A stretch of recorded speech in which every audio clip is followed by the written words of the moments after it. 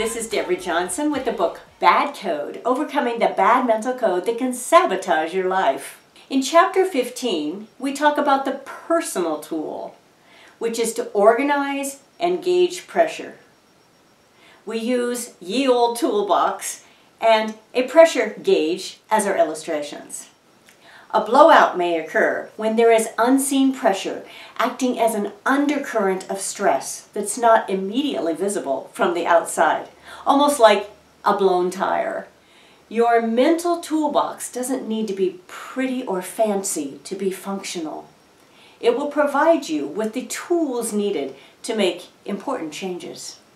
Numerous great books have been written about the power of positive thinking. However, there are many things in life that won't be accomplished by mere positive thinking.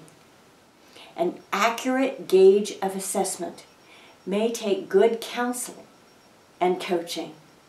This is Deborah Johnson, and I look forward to meeting you in the book, Bad Code.